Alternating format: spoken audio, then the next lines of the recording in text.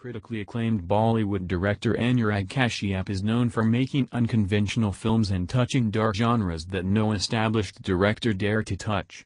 The maker of cults films such as Dev D, No Smoking, Gangs of Wasseypur, Raman Raghav 2.0 etc. seems to have chosen an unconventional route when it comes to his personal life too. Anurag, a two-time divorcee, is now in deep love with a young girl named Shubhra Shetty. The pictures of the duo are all over his social media pages. She is just 23-year-old while the director is 44. Kashyap has a 16-year-old daughter, Aaliya. The fact that his lady love is just a few years older than his daughter makes this pair grab many eyeballs.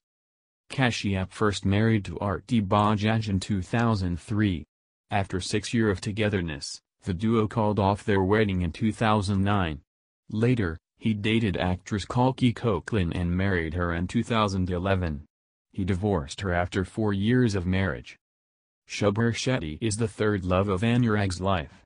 Anurag and Shubhra have yet to formally announce their